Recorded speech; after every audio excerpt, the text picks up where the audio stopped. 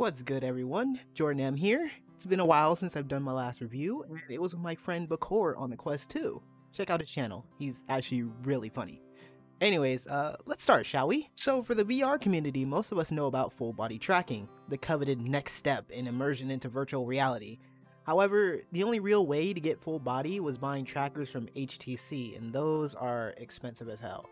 And that's not even all. You also need base stations for those trackers. And if you didn't get a Valve Index or an HTC Vive like me, who got a Quest 2, that's a lot of extra money to get base stations and trackers. Alright, so let's do this. Let's start with the trackers first. We got 130 times 3. Okay. And then, and then, and then. How much are the, how much are the, uh, the bike trackers again? 149? Alright, let's do 150. Plus 150 times 2. We need at least 2. Hold on, hold on, hold on. I must have done something wrong. Times 3. That's 390. Okay. And then 150 times 2. 390 plus 300. What the fuck? There have been other developers and programmers that have tried to make full body a thing without base stations, though they aren't the best.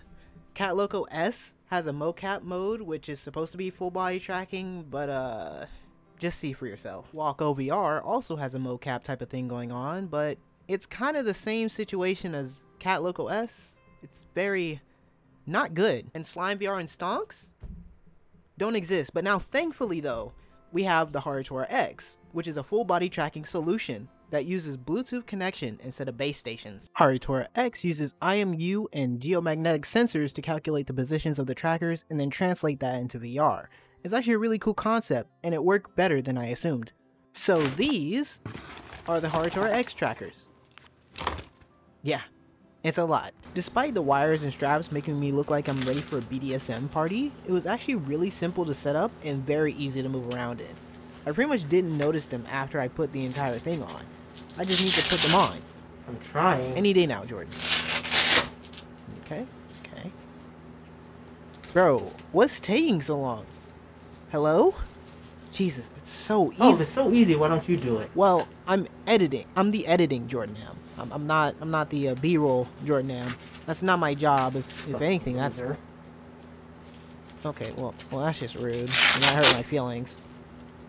That's why the left ankle is on upside down, bitch. And then once I have that done, I and I've turned on the HaritoraX, I launch Steam VR, and through Steam VR, I now launch the Haritora configurator, which you download when you check the manual while setting everything up. You then install the drivers needed for Steam VR, and the trackers will appear in, you know, Steam VR. I'm a dumbass, so I actually forgot to turn on the Haritora while I was um doing the video. So, uh I was sitting there for a hot minute wondering why the Bluetooth section wasn't green. But once I fixed that, I went to calibrate, which is a standing still in two positions for 8 seconds total, and the trackers work just like that. I launch VRChat and I calibrate my FBT and voila! Here's my first ever reaction full body by the way. Oh my god, wait.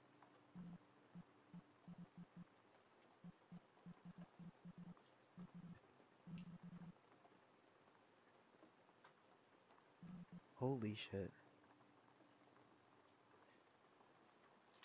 Oh my god. Yo, my legs actually work. What?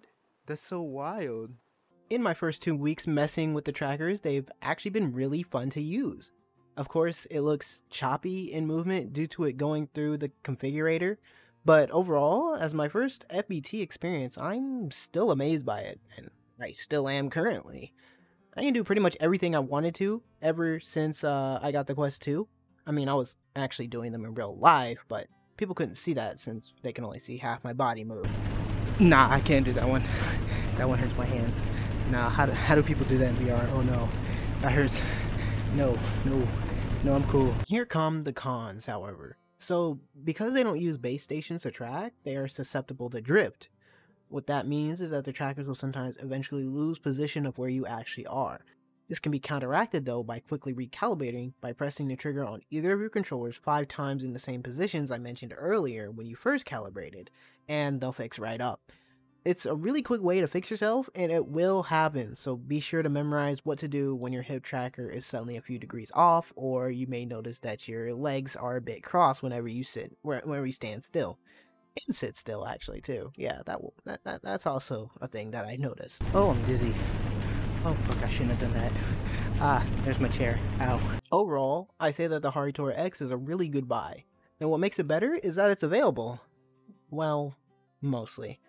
The company Shiftall does restock the Haritora trackers. However, as of making this video, they are currently out of stock.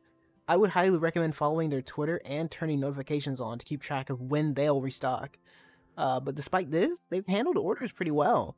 And for a product that's actually delivering so far, uh, I can't really complain.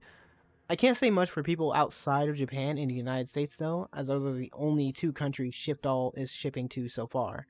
I tried to put one of my friends on, but they live in Canada, which I feel like should be a major country. You would also include for shipments, uh, but hopefully soon they'll add them into the pile, as well as UK and other major countries. Now let's talk about the pricing. Spoiler, it's actually really good. With shipping, it's 290 US dollars, which is $10 less than three Vive trackers. That $10 that was saved went towards a singular Bluetooth dongle for my PC since it didn't come with one. And then you have to remember that Vive trackers also need base stations, and if you didn't already have those since you got a Quest 2, that's an extra $300. So overall, I saved about $390 on my full body setup with HaritoraX and a Quest 2. I'm also completely wireless and I can fully move around. If I ever get daring, I can just turn off my Guardian and then walk around the room. But knowing that I throw randomly stuff around the place, I'm going to hit something and bust my ass. I sweat a lot. Oh shit, I'm so tired. Yo!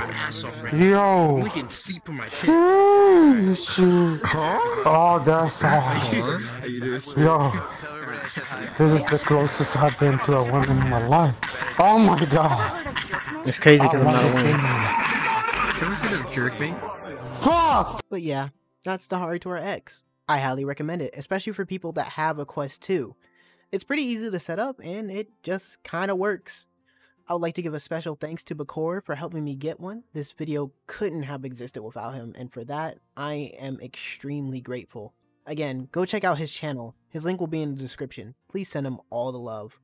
Like seriously, he's he's really cool. He's actually really funny, and uh he he got me into staying into VR and actually wanting to have full body in the first place. So yeah, go give him a lot of love. I I I, I love that guy. No, please, uh, please, um, I have no energy. I have... Yo! Yo, shit! I thought we whiff it. so now ready, Snow Rider's gonna join me? No, please, no! Okay, that's pretty much it from me. Usually YouTubers go do that whole drop a like, subscribe, blah blah, whatever the fuck. Uh, do whatever you want. I I don't really care. Anyways, I'll see you in the next one. Peace out, y'all. You owe me Bro, the way he Money. said that shit, it deep How in my much? fucking sweating, bro. 150.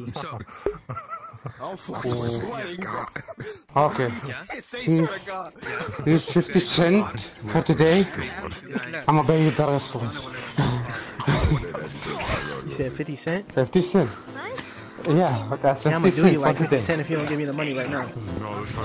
Wow, whoa, whoa,